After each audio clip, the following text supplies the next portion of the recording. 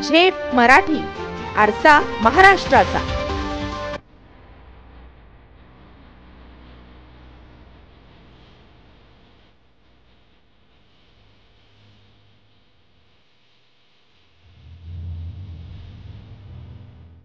हे आहे धुळ्यातील पांढऱ्या काठावर साकारण्यात आलेले धर्मवीर छत्रपती संभाजी महाराजांचे स्मारक.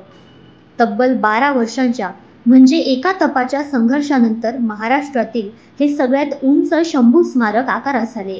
नुकताच या स्मारकाचा लोकार्पण सोहळा पार पडला.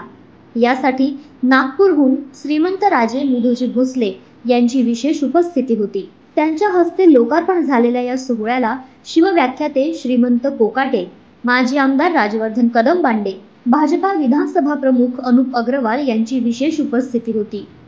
स्मारक समितीचे अध्यक्ष नानासाहेब कदम सचिव अर्जुन पाटील आणि समितीतील पदाधिकाऱ्यांच्या अखंडित अहोरात्र केलेल्या प्रयत्नांचा हा परिपाक आहे. छत्रपती संभाजी महाराजांनी त्यांच्या आयुष्यात तब्बल एकशे वीस लढाया लढल्या. मात्र एकही लढाई ते हरले नाहीत.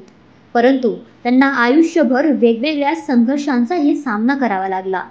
तसेच या स्मारकासाठी देखील समस्यांचे अनेक अडथळे दूर करावे लागलेत. अगदी स्मारकासाठी जागा शोधणे ती नावावर करणे शंभूराजांचा पुतळा साकारणे निधीची जुळवाजुळव आणि शासकीय वेगवेगळ्या परवानग्या यासाठी तब्बल बारा वर्षांचा कालावधी लागला. आणि अखेर पांझरा नदीकाठी संभाजी उद्यानातच अठरा फूट उंचीच्या चौथऱ्यावर बारा फूट उंच म्हणजे तब्बल तीस फूट उंचीचे हे महाराष्ट्रातील सगळ्यात उंच शंभू तीर्थ उभे राहिले.